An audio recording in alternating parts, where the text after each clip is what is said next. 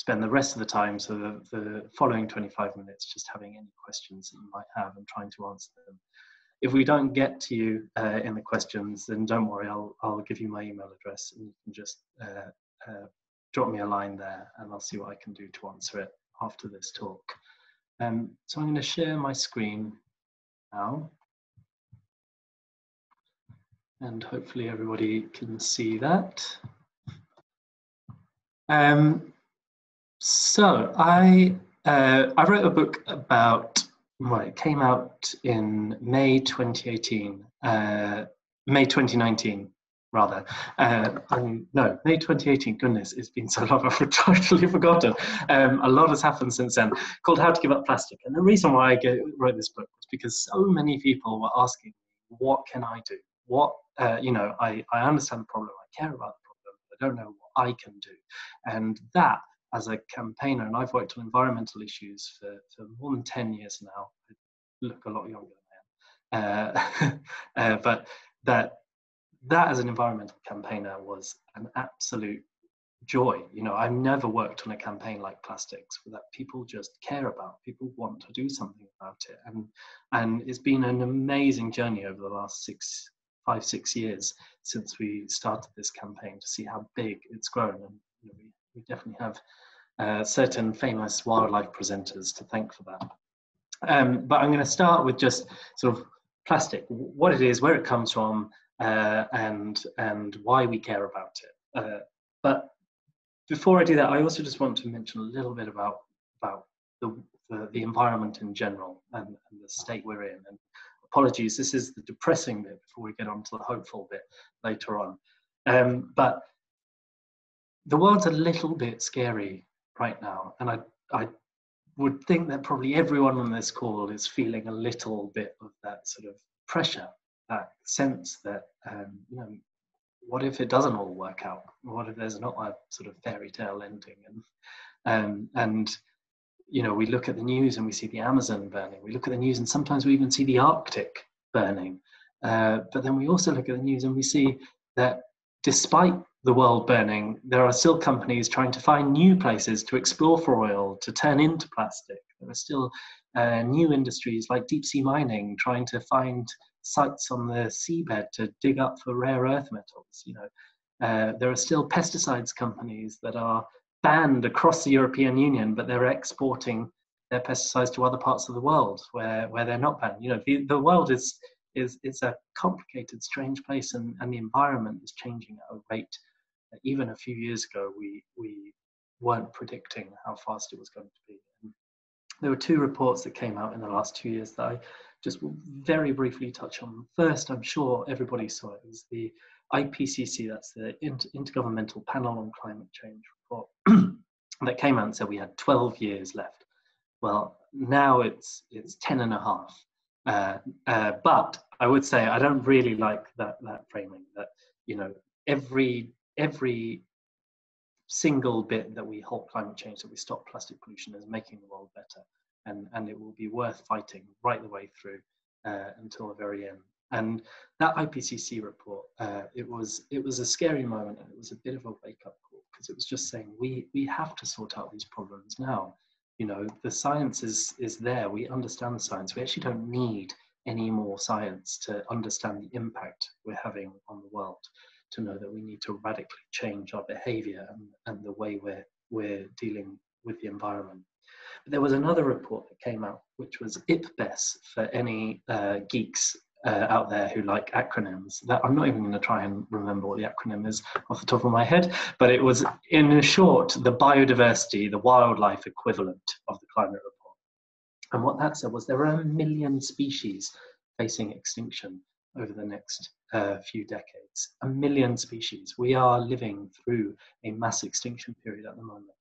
And I think what, what's scary and and I, I spent quite a lot of last year out on the ocean and I noticed it myself uh, when when I was sailing between Portsmouth and the Azores investigating the overfishing of sharks is these two things wildlife loss from overfishing from pollution like plastic and all of those things is is working together with climate change and they're brewing up a kind of perfect storm where they're feeding back and and making each other uh, accelerate.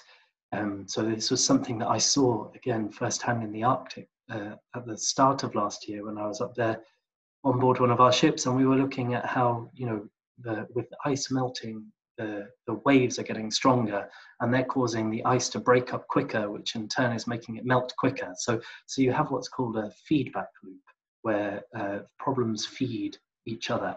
And plastics is one of those problems. Plastics is one of those sort of threats that the ocean is facing, which is multiplied by things like climate change or, or wildlife loss. And I promise we're go on to the hopeful bit. But before I do, I, I, I, think it's really important, and I'm sure there are people on this call who are members of, of environmental groups you talk about this a lot. I, I know, for example, Extinction Rebellion talk about this a lot. But it's important to remember we have already changed our planet. We have already changed it. There's not some um, halcyon days that we can go back to uh, where the world will be as it once was. And I had a moment, certainly, of, of realizing that myself. And this was a couple of years ago. I was in the Antarctic and I was uh, testing for microplastics. We were testing for plastics in the water, at the surface, and on the seabed. We were testing for plastics in snow. We found microplastics in freshly fallen snow, so it had been rained down into Antarctica. Uh, we found it in 90% of the water samples that we took down there. But there was one moment on that expedition where I really thought, God, we this there isn't any going back. Uh, which was we we came across this incredible iceberg um, it was, you know, icebergs in Antarctica. I don't know whether anyone on this call is lucky enough to have gone, but they are on a scale that is almost incomprehensible. It's, they're kind of cathedrals, bigger even. And we came across this iceberg that was maybe 70 to 100 meters high. Um, so that's only one tenth of it. The rest of it is underwater, 70 to 100 meters high, and uh, uh, four or five times the size of our ship. And we stopped because our photographer wanted to get lovely photos of it in the sunset so we could tell people about this beautiful strange place that they needed to protect. And uh, as we rounded it in in one of our little dinghies for him to take photos there in the water were four enormous neon plastic fishing buoys and i should say this is this wasn't just any bit of antarctica we were in. We were in the weddell sea which for those that haven't come across it, the Weddell Sea is where Shackleton sunk his ship or had his ship sunk. He didn't do it deliberately. But uh, the Weddell Sea is so cold that fish have uh, natural antifreeze in their blood to be able to survive there. It's one of the most remote places on the planet. I remember go, being in the bridge on our ship one night and uh, looking at the radar and realizing that in this two million square kilometer sea, there was us and one other ship. And if you know, if you want to feel lonely and remote and far away from help, don't go up to the ship's bridge at night in Antarctica because that really compounds it. And so that we were finding this plastic waste in that situation, it was it was a wake up call. And I'd worked on plastics for a long time. Like I said, the whole reason we were down there was to find plastic. But I still had that moment of thinking, we cannot clean all of this stuff up, but we can stop the problem from getting worse. And so that's what I want to focus on with this uh, talk. So uh, plastic, it started in the 60s, the plastic bag revolutionized shopping. It's still considered a valuable object in some places. I don't know if people know. I, I went to Poland and gave a talk on, on plastics and uh, uh a woman put up her hand in the audience and said she still washed them out and hangs them on the washing line because before the Iron Curtain fell, they were a sign of how wealthy you were of plastic bags at home. And the reason why they got so widespread is, you know, in some ways they're great. They're cheap, they're flexible, they're durable, they're hygienic. Uh, you know, they have all of these amazing qualities. The problem is they're the same qualities that mean that they never go away. They live out there for hundreds of years in the environment and haven't worked out a way of, of uh, efficiently getting rid of them or recycling them. Um, they're also amazing for marketing. Now, you know, now we're at a point in history where we realize that we probably shouldn't be buying so much stuff. But if you want to get people to buy stuff, plastic is a phenomenal tool for doing so because you can print anything on it and you can mass produce it and you can turn it into amazing designs. Uh, you can blend it with other materials like Pringles and come up with an iconic uh, design symbol that unfortunately is an absolute environmental disaster. And Nespresso pods, again, they're you know these these amazing sort of brands that are all about the design, and they all rely on some form of plastic. Um, and also, the other reason why it's become so widespread is because our world has gotten more complex. We have longer supply chains now. We transport things through many different means right across the world constantly. And, you know, COVID 19 coronavirus, it really laid bare how complex these supply chains are, how much we're dependent on uh, quite vulnerable systems that in turn have become dependent on plastic. So, all of these reasons are why plastic has ended up being absolutely everywhere.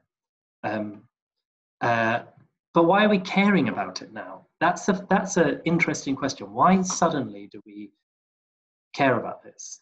Why not 10 years ago or 20 years ago? And I'm saying that knowing that there are guaranteed to be some people on this call who cared about it long before it was fashionable. So you're excused. But for the rest of us, why only now? And you know, I think this is an amazing example of how social media, how um, how mainstream media works nowadays that that you can get memes you can get iconic images i'm not going to stay on that image actually for too long um, because it's really grim but those images of birds stomachs filled with plastic they were a real moment that moment of watching someone pull a, a straw out of a turtle's nose that was a real moment you know uh, David Attenborough explaining how heartbreaking it was to watch an albatross feed its chicks plastic. That was another moment. Um, we care about it because we have seen these things on the screen. But most importantly, we then go outside and we see it in our own backyard. We see it in our own parks and we see it in our own rivers, on our own beaches. And, and so it's one of those rare occasions where an environmental problem is so visible and so tangible uh, and, it, and it tugs at the heartstrings. And, um, you know, that's very painful. But like I said at the very start, as an environmental campaigner, someone trying to change this, there aren't many environmental problems that you have that that real tangible link and and it, that's why it's so great campaigning on plastics because you barely need to do any explaining to anyone. This is just a picture of that iceberg that I mentioned. You can see all the penguins at the bottom for a sense of scale. Um, now, uh, and here we were testing for plastic on top of one of the icebergs and taking snow samples. Uh, but so why why has it gotten everywhere? Like, what's the physical process for it getting everywhere? And apologies again for, for people that know this, but uh, plastic is very versatile, it's very durable, and once it gets into the ocean, which it does in a whole range of different ways, ocean currents can take it everywhere. And they take it everywhere because different kinds of plastic float or sink or stay in the mid-water level, and then ocean currents can can take it around. So there's a reason why bottle caps are one of the most found items in the annual Ocean Conservancy beach cleans um, because they float at the top. Same with plastic bags. But there is so much more plastic hidden beneath the surface, and this is before we even get to, to microplastics. You know, we have found plastic in the frozen ice in the Arctic. We found it, uh, you know, tied away in, in mangroves, in, in, in swamps. We found it deep in bogs. Uh, and, and we find it all the time out in the open ocean. And, and I put a picture of fishing waste here because, you know, up to a quarter of the plastic in our ocean by weight could be fishing waste. And the thing is, we'll never really know because the ocean is enormous. Uh, it's, it's, you know, it's hard to comprehend uh, how big it is, but so much plastic that is there we'll, we'll never fully know about. So all of these are just estimates. Um, I think one one that always gets me is the fact we found plastic in the deepest trench in the ocean, 11 kilometers, seven miles beneath the surface of the ocean in Challenger Deep, which is the deepest trench uh, as part of the Mar- the deepest part of the Mariana Trench. They found an intact plastic bag. Some of the fish in the Mariana Trench have never seen daylight, and yet they are swimming through our waste.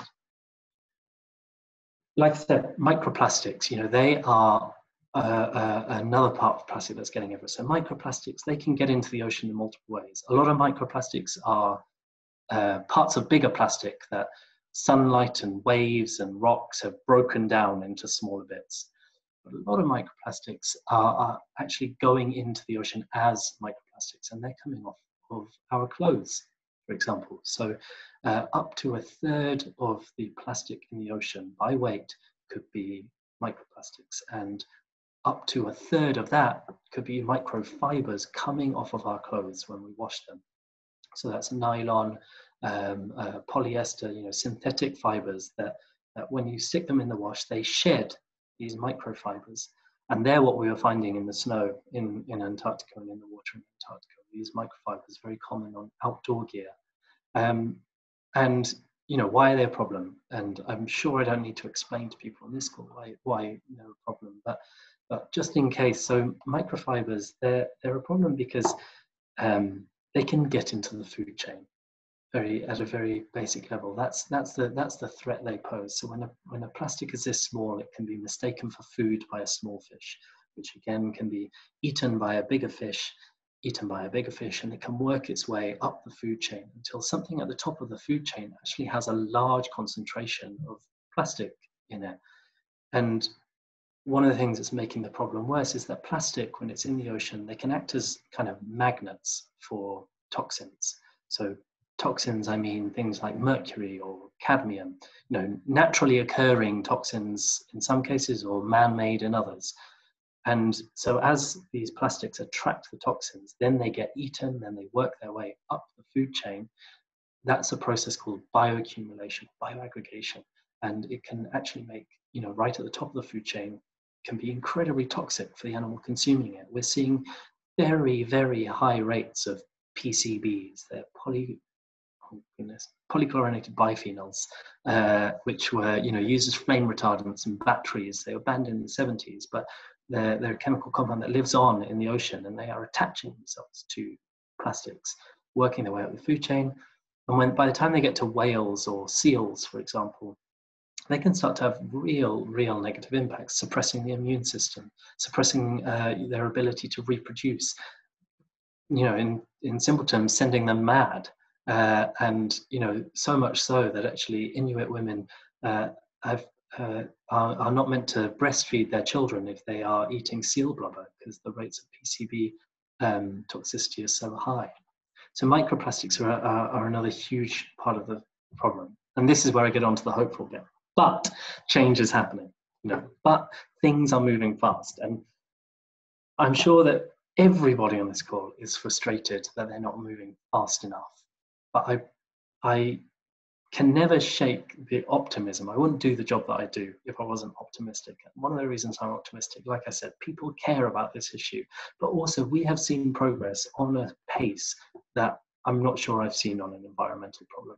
And I think it really started with microbeads. So this is 2016. Uh, Obama had banned them in the States.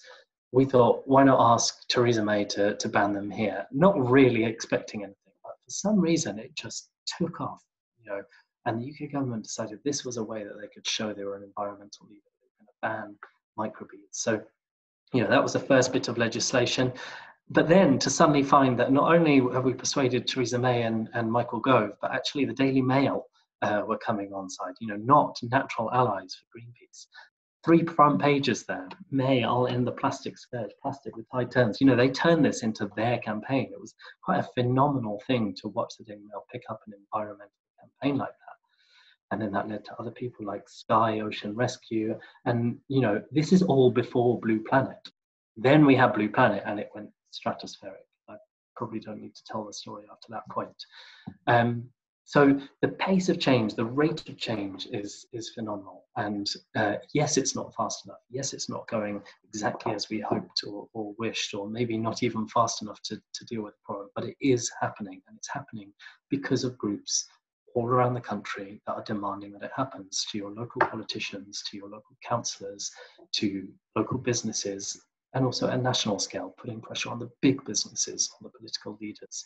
Um, so one example of that uh, is is supermarkets. So this was our first supermarkets uh, uh, ranking where we wanted to um, put in order the people doing the best and the worst uh, according to plastic, and we did this all, across a range of different metrics. So are they do they have policies against uh, to reduce plastic overall? Do they have only recyclable plastic where they do have plastic? No uh, do they um, uh, have reusables? Are they actively piloting schemes like a deposit return scheme? All of those kinds of questions.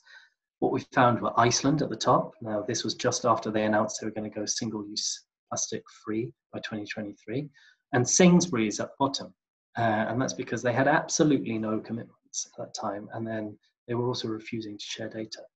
Now, I wish I had the slide, but it actually, I forgot to bring it across. One year later, we did the same survey again, Sainsbury's in fourth.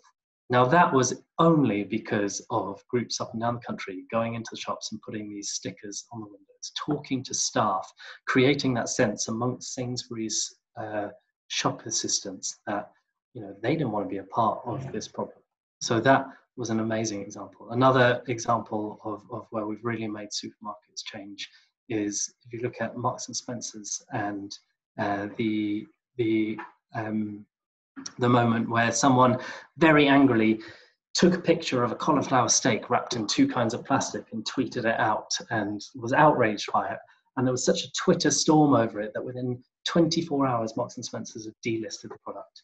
Uh, so again, like these kinds of actions by people everywhere are why companies are changing things. We have to keep that momentum up.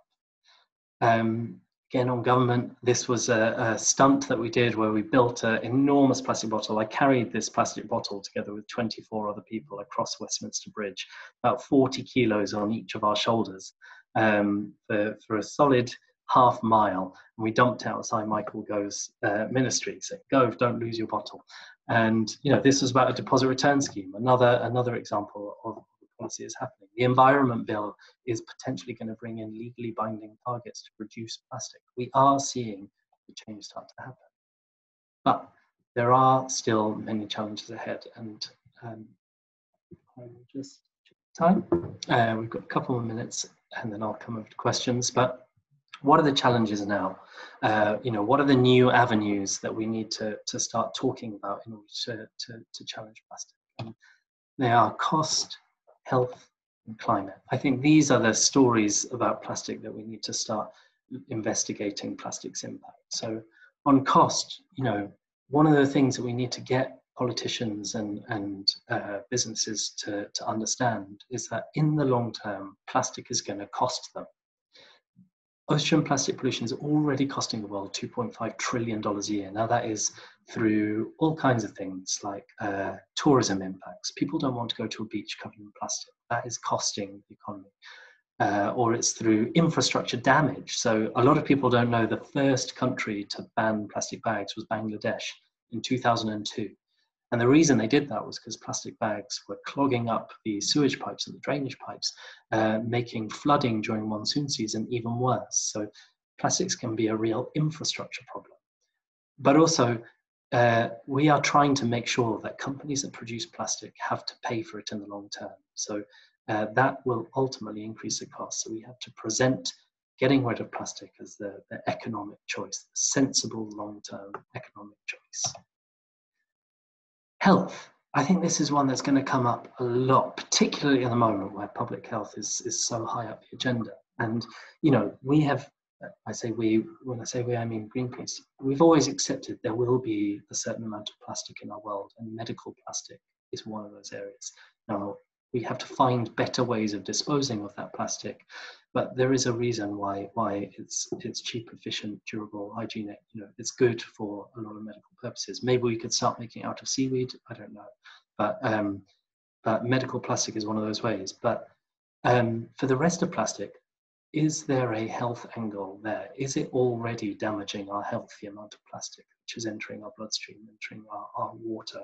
You know, we found plastic in salt, like table salt testing. We found plastic in tap water that we've tested. And then climate.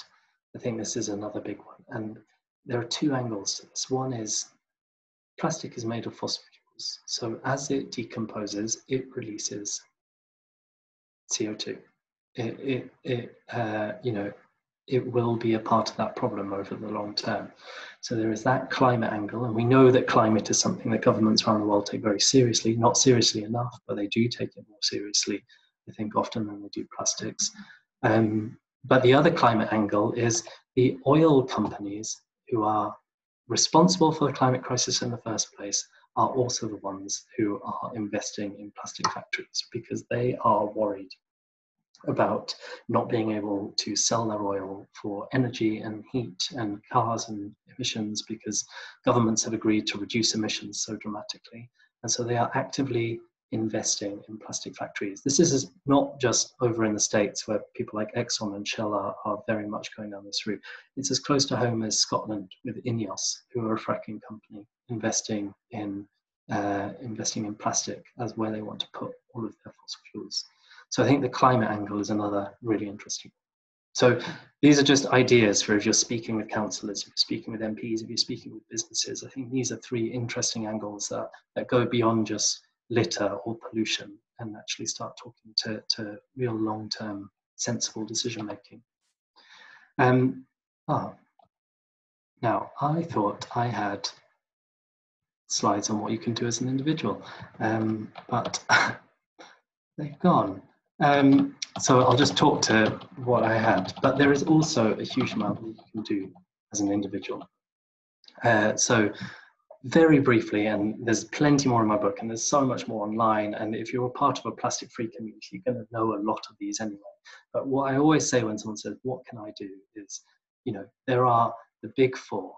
Um, uh, give up disposable coffee cups, give up throwaway plastic bottles, give up plastic bags, and give up straws. Now, those four things alone will have a huge dent in your plastic footprint. Not everyone can give up all of them, and certainly straws have got plenty of good use for people with, with mobility issues. But those four are a massive part of uh, individuals' plastic footprint. So that would be the place to start. But then taking it a step further, I always say to people, start being organized with your shopping, start making a list, start researching where you're buying things. You know, just setting in place these new habits. Uh, I think that's that's one of the things with with giving up plastic is it's it's just about forming new habits.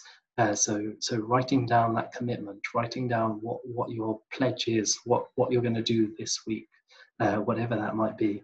Um, you know, as Brits, some research came out last year that said we use 11 billion items of single-use plastic just for food on the go every year.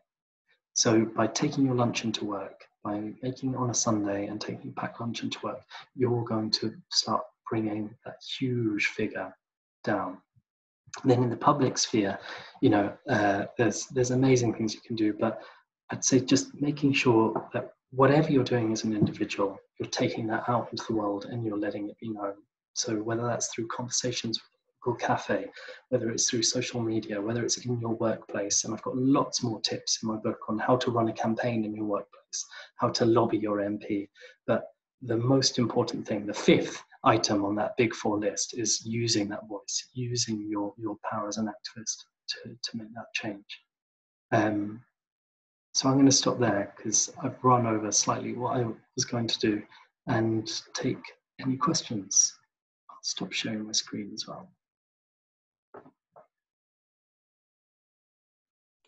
Hi, thanks a lot for that. Um, thanks so much for that. That was really, really good. I just, I've, I've just realised that um, um, I just realised that there's um, a, a drop-down box on Zoom where um, the um, there's like a it says two and it says two all panelists panelists and attendees and so people were sort of saying where they were from but they were only saying it to the panelists which is me and you um, rather than to everyone else so um yeah so people may have not seen uh, uh, where everyone else is from um but um yeah. So uh, if anyone if anyone wants to use the chat box, um, then obviously uh, you need to click on the drop down box where it says to all panelists and attendees. Um, so it just it just means that everyone can then see it um, or your comments. Um, so that's really good. And for anyone who wants to uh, ask what a question, if you, we've got the Q and A box there, so it's got the um, if where it's at the bottom of the screen where it says Q and A, uh, click on that, and then uh, you can um, write your question in, in there um, and that's going to be the easiest way. Um, so, yeah, so um, yeah, and I think um, what's really good is um, as well, like what you were saying at the end about um, terms of individual actions and things. Um, Against Sewage have got this really good um, thing called the Individual Action Plan, and it's just got um, it's just got kind of some of the kind of things that you were saying on here about some of the um, actions that people can take, such as remember your refillable water bottle, take a, re- a reusable co- coffee cup, and refuse single-use takeaway cups, refuse single-use packaging, resist a straw, refuse a single-use plastic bag, and take your own t- take your own cutlery or use sustainable alternatives. Avoid single-use plastics in the bathroom. Refuse single-use condiment sachets. So those are just sort of some of the, the some of the kind of actions which I think are really good. And obviously, um, there's also the point about um, the UK ban on um, plastic straws, and and because uh, that was meant, that was meant to be coming in, wasn't it, in April, and it's now been pushed back to October, is it? Yeah, that's right. So um, yes, obviously, in terms of sort of like you know, with the with the with the plus, you know, the, the thing about the straws, it's going to be a, obviously that's going to become law from October. So obviously that's going to be um, great for that. So um, yeah. Anyway, we're going to move to questions now. Um, someone said, um, "What advice would you give us? We're just starting a plastic-free communities journey in our village." So I think the first thing um, is sitting down and working out, you know, just a one month, three month, six month plan. What do you want to do in one month? And that plan for the first month could just be we want five new members. Maybe it's got nothing to do with plastic. Maybe it's just about we want five more people to join us on this journey because everything is going to be a lot easier if you have more people. That's a, the most simple rule to campaigning is if you have more people on your side, you have more of a chance of winning. And so I'd say start with recruitment and then start with something winnable start with something that makes people feel good and that has an immediate impact. So maybe that maybe you already know a business uh, in, in, in the area that's thinking of giving up single-use plastic. Go to them and plan that announcement. Um, you know, that's what we do all the time. We always have a look and say, uh, like, who's the most likely to agree with us of all of these businesses? and let's just have a behind the scenes conversation with them. Start there because there's no better way to launch something than with a good news story. Um, so that would be, I think, if I said two things for if you're starting out recruitment, get more people involved, and plan a really good news story to launch. Definitely, yeah, I totally, totally agree. Yeah, and if you're always looking for news stories, like if you search on the internet, you probably find a similar one. So that's what I've done in the past. Looked at like you know, never reinvent the wheel. If there's if there's existing news stories out there from other groups, you know, look, look at kind of what they're doing. I always find um, press release templates and things and stuff really, really quite useful. Um, so Kat, um, Kat has said, in terms of individual action, I can't help but feel that individual actions paling to comparison with the impacts of big companies like supermarkets or corporations that make daily products like Unilever have. Could you give us some more detail on how to effectively lobby such consumer companies and how to make that change? Yeah, I, I, you know, you're right in some ways. They they do pale in comparison, and they are a drop in the ocean. But they are absolutely still worth doing because our recycling and our waste system is so bad it's so faulty that that piece of plastic in your hand has every chance of ending up in the ocean. And so that is why individual actions are very much still worth doing. But um, but it's why I said using your voice, you know, amplifying what you're doing is is also one of the crucial bits of, of giving up plastic because we do need more people, we need more businesses online. In terms of lobbying the really big companies, you know, I can, talk to, to what we do. Try and find the worst examples. Try and find the worst stories. Like, what's the product that makes no sense? What's a product that's made up of five different kinds of plastic and a kind of metal and a kind of cardboard? Um, you know, talk to a talk to a waste company uh, a CEO or worker or whoever it is, and get their take on what's the product that they really, you know, they give up when they see them come through the door uh, because they're so impossible to get rid of. Find those bad examples and then kind of build a crime file around them. How many of them are that company making? Uh, and and then take to social media that's the that's the beauty of it like once you have those kind of investigations doesn't matter who you are you can be greenpeace you can be plastic free chesterfield you can be an individual in their living room if you've got a story and it's a good one then people are going to listen to it and i think that that's one of the best ways of, of lobbying companies now that's if you have a lot of time though if you have less time then i'd say join a local group um, so so again, go with the strength of numbers. And there are plenty of Greenpeace groups out there, lots of plastic-free groups out there, but, but join forces with other people and, and campaign together. Definitely. Um, Derek asked, how are reusable cups going to be compatible with the effects of COVID-19 and not sharing utensils? Yeah, so I think there are a few coronavirus questions in there, so maybe I'll, I'll deal with them. Yeah. That, that you're, this, you know, we are having to rethink how we campaign on plastic at the moment. I think you're absolutely right. It's, it presents quite a big challenge because the public narrative has gone, you know, hygiene is the most important thing. And for decades, single use plastic is associated with hygiene.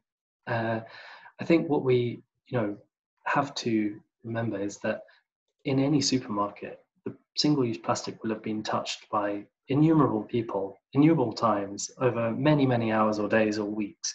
So there's no necessary reason why that plastic is going to be any more sanitary than the fresh piece of produce. The same principles apply: washing your hands and washing washing utensils, washing cutlery. Uh, we just have to to to to remember those skills. And I, you know, obviously we all wash up at home, but a lot of people don't realize that it's relatively recent history that we had a very um, large washing and processing industry within the UK. You know, pubs had back rooms where they where they were washing. Disposable weren't so common. We just have to remember that this is stuff that we know how to do, and washing with soap gets rid of germs, even COVID nineteen ones.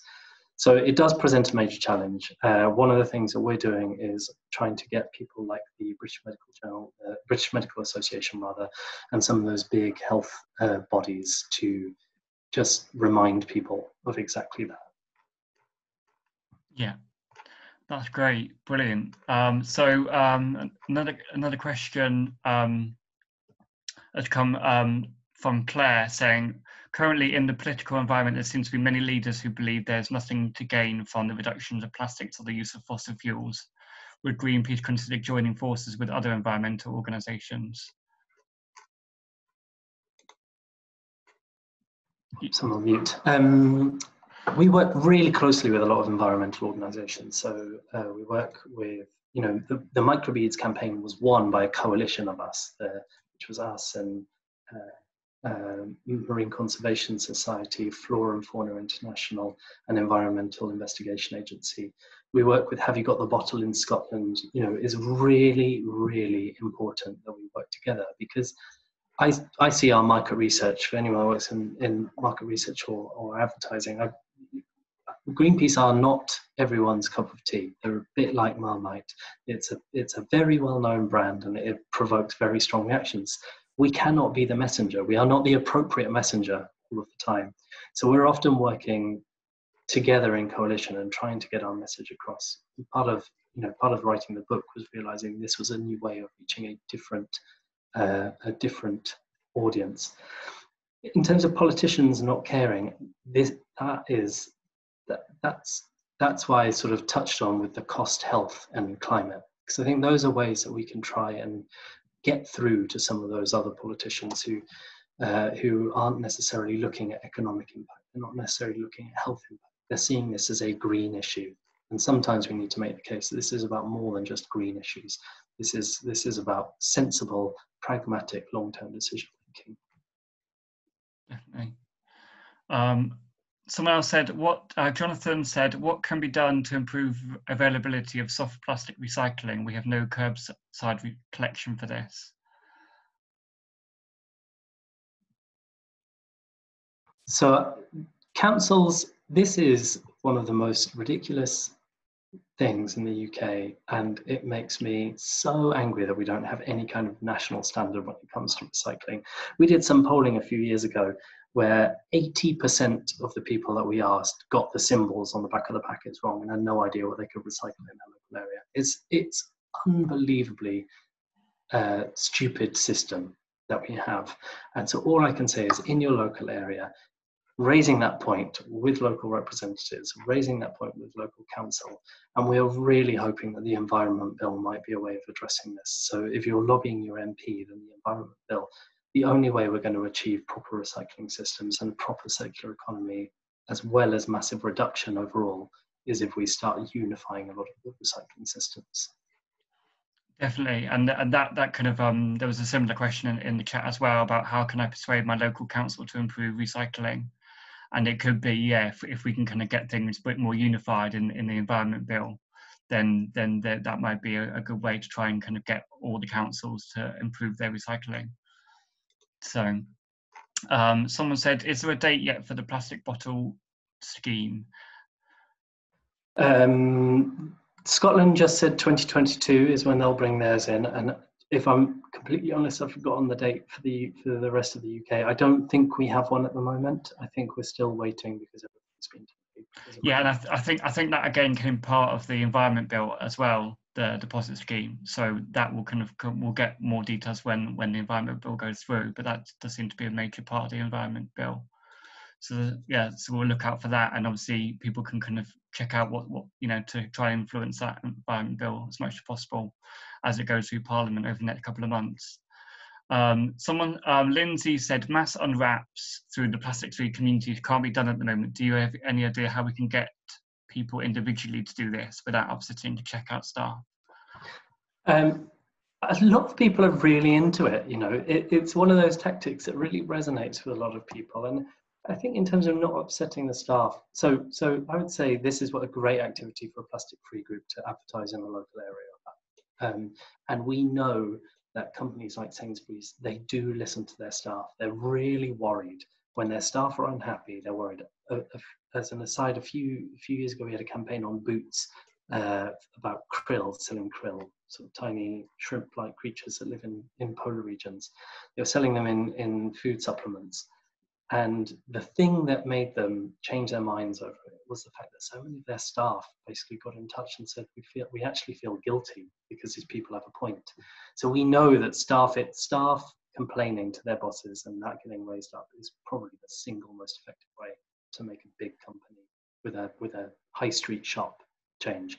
Um, in terms of not being friendly, uh, you know, you have to just judge that, and I'd say, be polite, be friendly, be nice, uh, uh, let them know. And if you if you feel like it's going badly, if it's escalating and you're not comfortable with it, then just stop and walk away. You know, we all have that power to stop doing something and change our mind halfway through if it's not working out.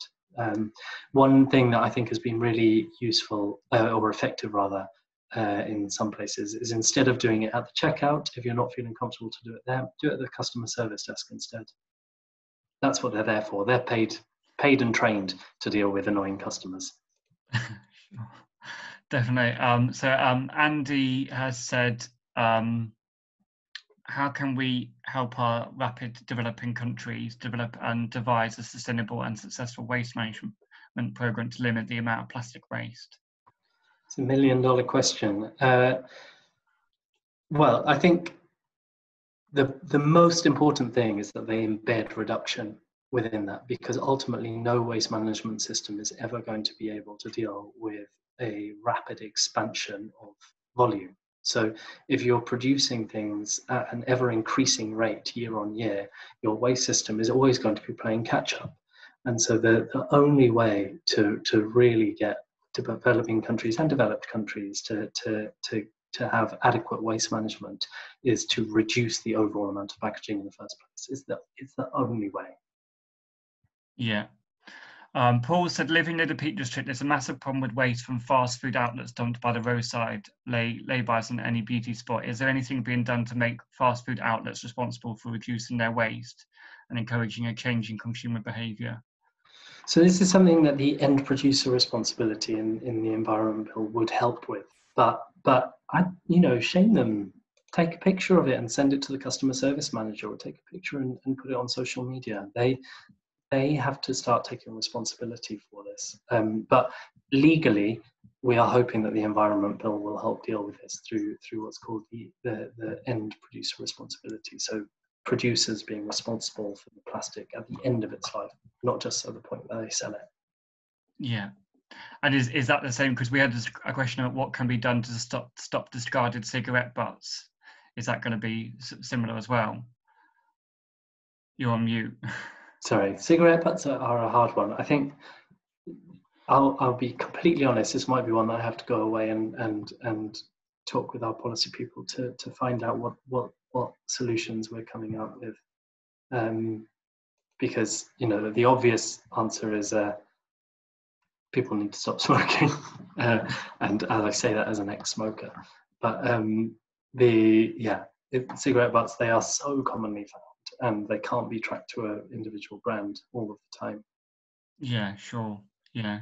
No, that'd be really interesting if you can if you can find that out. It'd be really useful yeah. to hear back from that. Um, Helen said, "Are projects like Precious Plastic and the boats that are clearing plastic out the seas and rivers going to have an impact?" They're, yes, they will have an impact. They will have a localized impact, but they are not the solution. I think that's the, it's an important distinction to mind. I, I love projects like that because they're amazing for awareness raising. They're amazing for getting people involved, and they do have a very local impact. You know, your beach will be cleaner, your river will be cleaner as a result. But the analogy that I think is the best one that I know lots of people probably have used yourselves when explaining this to family and friends is if you, if you go into a house and the bath is flooding, you you you don't reach for the mop to clean up the water, you turn off the tap. And and I think that's the analogy that explains that problem. So yes, cleanup it's very important. It's very useful tactic, but it's not a solution. Definitely, and and I think um, anyone who hasn't seen the story of plastic, um, I'd re- really recommend watching that documentary because that does uh, talk about the whole story, uh, the the whole journey of plastic, and about this issue of turning off the tap, which I think is really really important. That we need to not just look at the, the cleanup and look at the kind of the production issue as well. That's really important. Um, so I think we might have time for just maybe one more question. Um, Lucy said, where I live, the council only recycle half the plastic to collect and incinerate the rest polluting the city with um, acrid smoke which gets into lungs? Why is plastic still being manufactured which is non-recyclable? This needs to change. Not sure what is worse, landfill versus incineration, incineration, but we need government to invest money for better incinerator that can siphon off the gas safely and provide heat. So we we are opposed to incineration because we think that it's an easy way out. Now that doesn't mean close all the incinerators that are already there, but unfortunately, incineration, it will just allow us to continue to produce at an unsustainable rate. It's a sort of easy way out when actually what we need to do is rethink the, the system as a whole and, and reduce the amount of plastic overall. In terms of recyclable plastic, I'm really hopeful that this is one of going to be one of the big wins within the next two years. That we will just see an end to non-recyclable plastic. Unfortunately, we are still seeing a huge amount of recyclable plastic being incinerated as well, though. It's not just non-recyclable that's being incinerated. Wherever recyclable, you know, is just too difficult, or maybe one council has a policy where something's not recyclable, it often ends up getting incinerated. Yeah, sure. Um, so, um, do you? Is there time for one more question? Yeah, one more, and then I'm afraid I'm going to have to go and have my okay. um, Simon said, um, "Our home situation um, is very common. We both work full time, stressful jobs, two kids, dependent parents. We do now use the Hello Fresh boxes, but our main plastic use is through generic packaging and convenience foods, as having the time or energy to cook from fresh shop from local markets is difficult. Where do we start when the supermarkets are supplied by few large corporations to a large extent decide how products are packaged, what are the affordable and homemade alternatives? That is, you are who I wrote my book for. Uh, it's for people, you know, and I think there's an element here of being kind to yourself. Don't, you are, you are one person, you have a stressful job, you have, your partner has a stressful job and you have children. You are, you are in the, the demographic of people who is going to find this hardest because convenience is, is so essential in a way. But so it's about not being afraid to take half measures and uh, not be, not not not doing something just because you can't do it all of the time. So I say this to friends who have who who have young children a lot. It's don't worry if you don't want to use reusable nappies all of the time. Use them when you're at home. You know, don't worry if you just desperately need wet wipes when you're out and about but use a flannel at home. You know, cut cut by fifty percent, even if you can't cut by hundred percent. I think that's that's one of the one of the most effective mind shifts that you need to make uh, if you're if you're in that situation. It's like uh, seeing this as a constant journey where bit by bit you'll do a bit more and not giving up on things just because you can't go the whole hog. Definitely. And I know um, I know the everyday plastic survey has been really good. Um, if anyone who hasn't heard about it, there's it's been it's great because it's um it, it kind of looks at teaching you how um, you can kind of survey your own plastic use and they provide sort of um, some ideas for how you can kind of reduce your own plastic footprint.